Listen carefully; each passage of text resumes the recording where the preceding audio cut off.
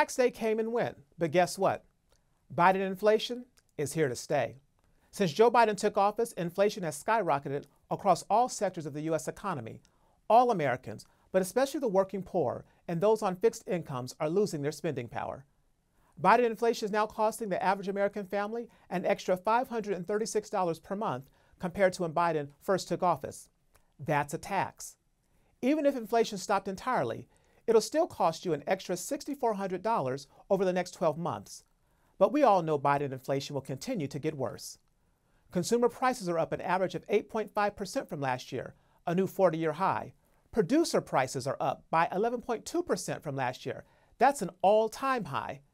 Making matters worse, real wages are dropping.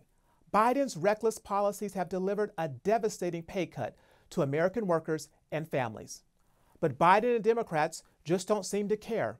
With every desperate excuse they make and progressive socioeconomic policy they push, it becomes clearer just how out of touch they are with real Americans.